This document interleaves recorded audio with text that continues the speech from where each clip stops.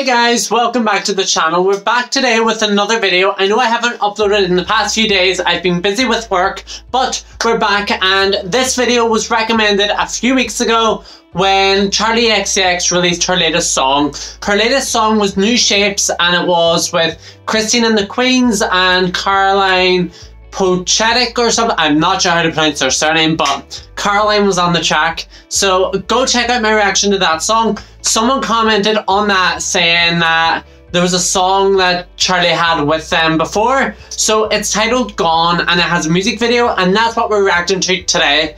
Before we get into it guys, subscribe down below. We're hitting 1k soon. We're almost at 1000 subscribers subscribe and join the community. Help me out. Let me reach that goal. Subscribe down below, like this video and turn notifications on and we'll just get on into this video.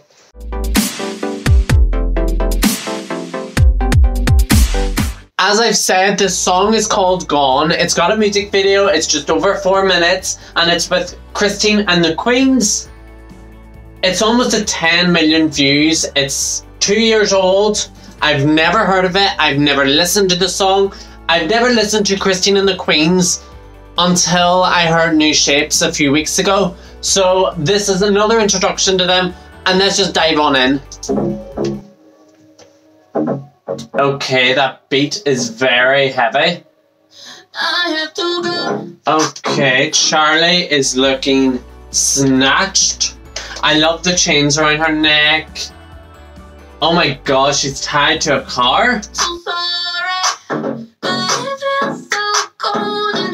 I like this heavy production. They're both stunning.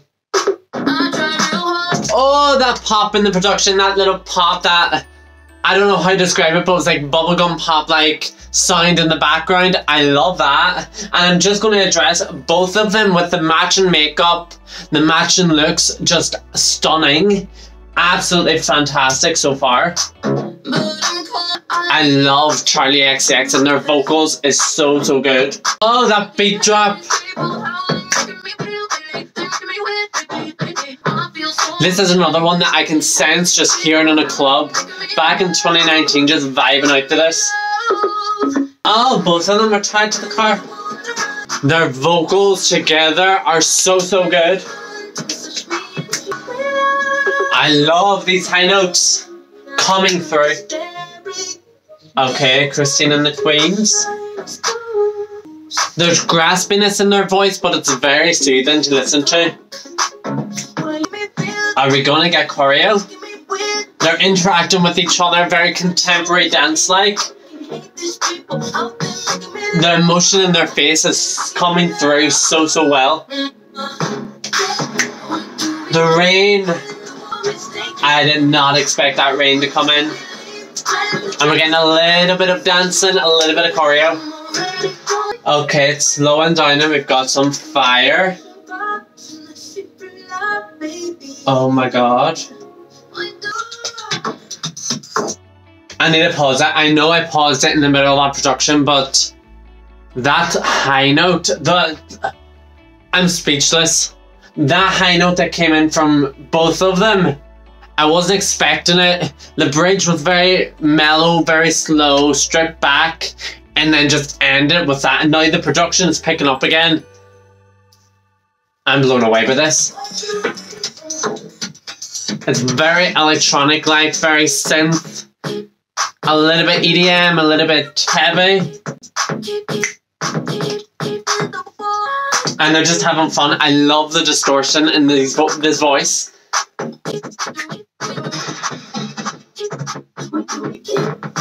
Oh, I love this auto-tune. And that's it coming to an end now. Just fading out this repetition with a little bit of auto-tune, a little bit of graspiness. Wow. I love that music video. It was very basic but there was sharpness to it. There was the rain, there was the fire, there was the dramatic scene of the car tied to the car. It was very dramatic and very sharp, but it, it was simplistic. It was very stripped back. Their vocals came through, both of them cohesively, went really, really well. Love, love their voices together. Charli XCX is someone that I'm gravitating more and more and more to. I listen to them a lot at work. I'm trying to avoid a lot of her songs simply because I want to react to them, like the Vroom Vroom EP, Pop 2, I think that's a mixtape. I know Femmebot is on one, I've done Vroom Vroom, so only one on each that I've reacted to. They're on my channel, go check them out, but I want to listen to the rest of them. So guys, if you want me to react to those two EPs or mixtapes, let me know down below. Let me know and like this video. Don't forget to subscribe and turn notifications on too. I'm going to rate this song... I think I'll rate it 8 out of 10. I had to think about it for a minute. 8 out of 10 simply because near the end it was a little bit too repetitive but still liked it and content wise don't know what it was about. I was so took back by the production, the vocals, the visuals that I'm gonna go have to listen to this again just to take in the meaning and the lyrics just to see what it's about. But 8 out of 10 for my first listen. Let me know what you guys think down below and don't forget to follow all my social media. They're all down below as well. My Instagram, my Twitter and my TikTok. My Instagram's on the screen. Follow it and follow them all down below and I'll see you in the next video.